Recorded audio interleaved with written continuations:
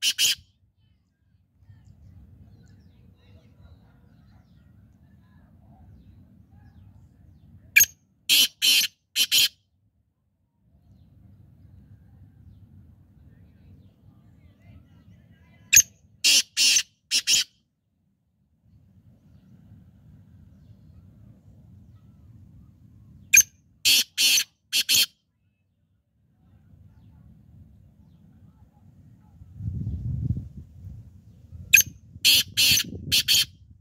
19 ਫਰਵਰੀ 2023 ਦੂਸਰਾ ਮਹੀਨਾ 19 ਤਰੀਕ ਬਰੋਜ਼ ਐਤਵਾਰ 2023